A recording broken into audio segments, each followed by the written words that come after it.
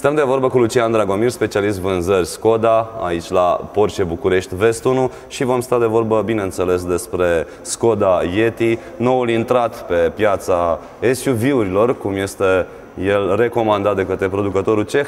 Bună ziua, Lucian! Bună ziua, bine ați venit! Mersi, bine v-am găsit. Hai să intrăm direct în miezul problemei. Cui se adresează Skoda Yeti? Uh, Yeti se adresează clasei medii, uh, oamenilor cu posibilități materiale medii uh, sau ceva mai ridicate. Uh, este, este un model cu totul și cu totul nou și uh, uh, împrumută foarte multe elemente de la, de la clase superioare, de la, de la mărci premium, deși este o mașină cu un cost nu foarte ridicat în, în gamă. Hai să, să trecem puțin în revistă împrumuturile pe care le face de la segmentul premium. Da, pot să vă spun că sunt motorizări comune ale grupului Volkswagen Audi. Sunt motorizări care se regăsesc uh, chiar și pe un uh, Audi Q5, de exemplu. O mașină care uh, din start este încadrată în gama premium. Și materialele. Materialele acestui nou model sunt de foarte mare calitate. Sunt, sunt materiale noi, prietenoase la atingere, cu un aspect foarte plăcut la, la interior, un design uh, ergonomic.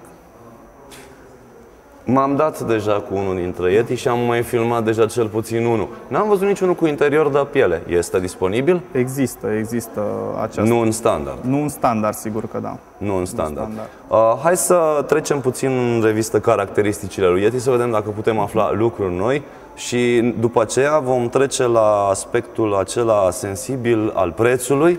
Sigur, pentru că ai spus că se adresează clasei... Sensibil sau mai puțin sensibil. Clasei aproape bogate, deci iată și un sărac și-ar putea cumpăra. Hai să vedem care sunt caracteristicile lui, eventual vorbim și despre motorizare. Sigur că da. Uh, Yeti este construit uh, pe platforma comună a grupului, uh, PQ33 se, se numește anumit-o fabricantul. Este aceeași platformă care o regăsim și la noua Octavia, la Tiguan, uh, alături la, la Volkswagen. Uh, este o platformă uh, în care s-au investit foarte mulți bani și de aceea este folosită pe cât mai multe modele. Este Ai spus că se regăsește și pe noua Octavia, dar platforma noi Octavia nu e aceeași cu platforma veche Octavia? Uh, vechea Octavia, vă referiți la Octavia 2 sau la Octavia, Octavia Tour? Da, este aceeași mașină. Octavia Tour nu, nu, cu siguranță nu. nu.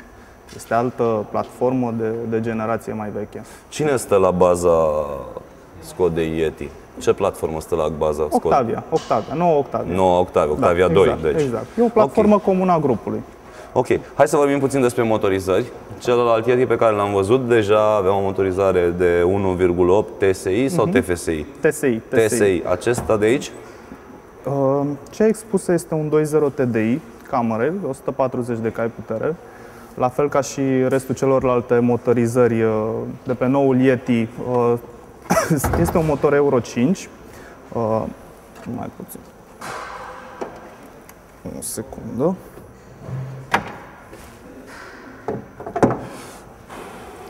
Întâlnim motorizări exclusiv Euro 5 pe acest nou model.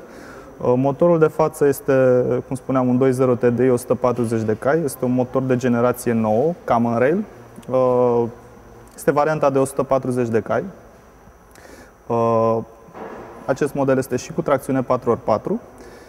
Motorul este întâlnit și uh, în cadrul grupului și pe alte modele. Este un motor de 140 de cai și 250 de Nm uh, disponibil. E același motor care se întâlnește pe Passat, pe Golf? Pe Passat, pe Golf, sigur că da. Pe Audi?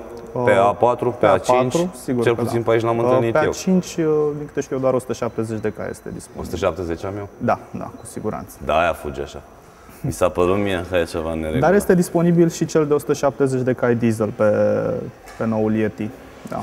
Să înțeleg că motorizarea aceasta este o motorizare de mijloc sau e o motorizare de premium? Eu, eu aș spune că este cea mai echilibrată motorizare pentru acest model. Pentru că există și 2.0 TDI de 110 cai. Care este motorul de la modelul entry level? Al, este, al este un motor pe benzină. Este un 1.2 uh, TSI, un motor pe benzină supraalimentat. Deși este o, are o cilindră mică de 1-2 cm, motorul dezvoltă 105 cai putere. Este un motor de generație nouă. Încă nu s-a montat pe, pe, pe alte mașini în grup sau de-abia acum începe să se să introducă acest motor în, pe restul modelelor.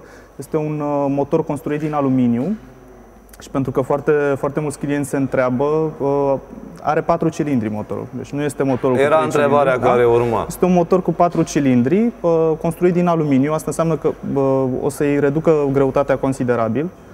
Și atunci uh, chiar cred că o să, o să se comporte, cu siguranță o să se comporte decent pe, pe această mașină. Mă uitam după etichetă, nu știu unde o ascunde producătorul ce. Câte kilograme are mașina asta? Uh, 1500 de kilograme. Și un motoraj de 1200 este în stare să mute mastodontul Cu ăsta? siguranță, da. Dar cu siguranță nu pe tracțiune 4x4. Nu pe tracțiune 4x4 și pe tracțiune față, cu siguranță. Acest model entry level de 1,2 Da. încă nu există, am înțeles. Uh, încă nu am- se po- comercializează. se poate comanda în Se acest poate. moment. Uh, Nu am primit o astfel de mașină, nu am văzut cum, uh, cum se comportă, dar uh, atunci când o să avem disponibilă motorizarea, o să vă, o să vă invităm. Să Din vedem. uh, experiența pe care o ai, modelul ăsta s-a vândut sau crezi că se va vinde mai bine pe motoarele mari, bănuiesc, nu?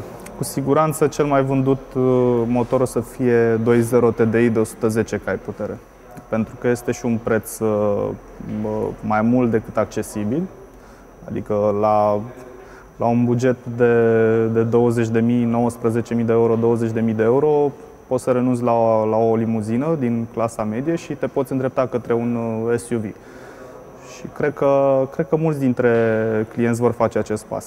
Adică să înțeleg că intrăm acum puțin pe, pe segmentul finanțării, să înțeleg că cu aproximativ 300 de euro pe lună ai putea să-ți cumperi mașina asta într-un nivel de Uh, echipare decent?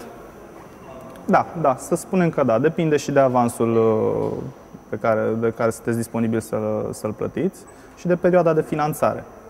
Uh, Programele de finanțare sunt, uh, sunt, uh, sunt foarte bune în acest moment, adică putem oferi un avans minim uh, pentru o finanțare pe o perioadă foarte lungă de timp, până, de, până, de până la șapte ani.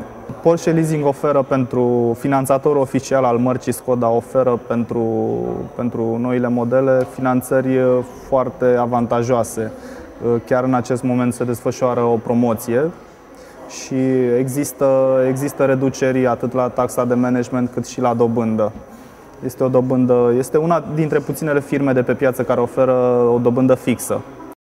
Am înțeles, deci până la urmă avansul minim trebuie să fie tot de 15%, dar 15%, dacă da, cu siguranță. ai acești, știu eu, 2000, 3000 Trei- de euro, Mai poți- mult chiar.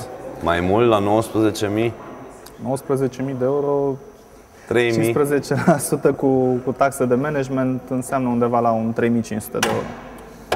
Da, Avans, iată da. un SUV care poți să ți-l cumperi cu prețul unei mașini uh, din clasa medie. ai Cu spus siguranță, tu. cu siguranță. Mergem mai departe, să stăm puțin de vorbă despre dotările sale și despre interior, dar acolo m-aș simți mult mai în siguranță dacă aș intra cu o reprezentantă a sexului frumos. Și eu nu pot să mă supăr în cazul ăsta. Da, mi se pare normal, iată, toată lumea se va bucura.